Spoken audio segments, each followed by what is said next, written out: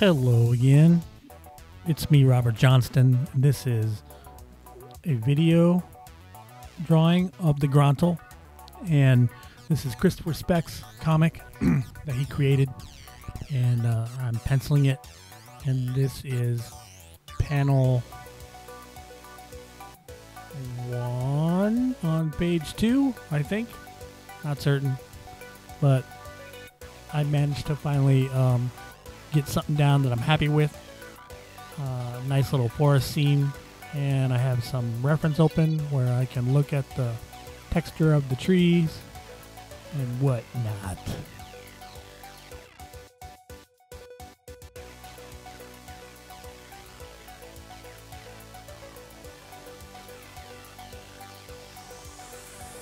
You know, doing this is a little bit more difficult um, than anyone probably thinks because you have to like make a conscious effort to look at reference.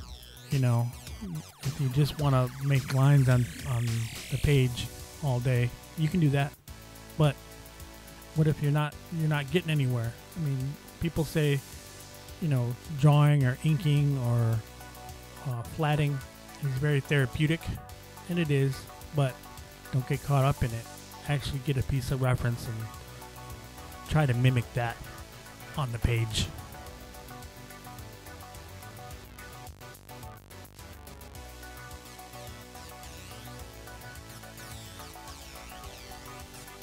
And as you can see, I'm turning on my other layers with my two characters, the Grontl and this guy. I don't even have a name for him.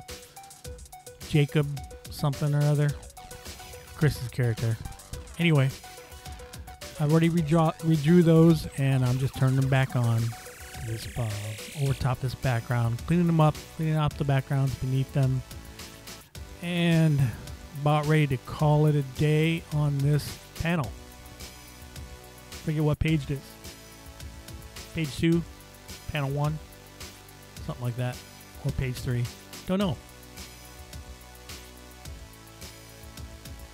Well, I think that's going to be all for me tonight. Uh, I hope you enjoyed this video and my new intros and outros. I'll see you guys in the next video.